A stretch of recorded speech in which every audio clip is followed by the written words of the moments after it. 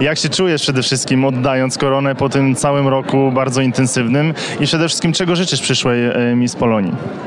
No był to wspaniały rok i żałuję bardzo, że nie mogę sobie zostawić tej korony na, na kolejnych pięć lat.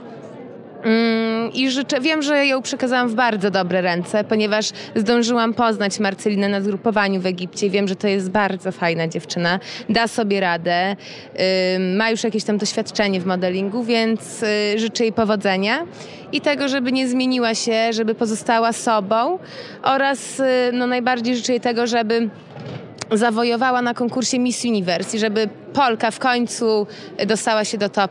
Stanie rano Rosalia, która już nie ma korony, nie jest Miss Polonia i, i ja- jak będzie wyglądało dalsze twoje życie? Co będziesz robiła? To jutro rano wstanę i będzie kolejny dzień taki jak zawsze, a na pewno będę śledziła y, losy Marceliny, nowej Miss Polonia i jej szczerze kibicowała. Pozdrowienia dla internautów wirtualnej Polski.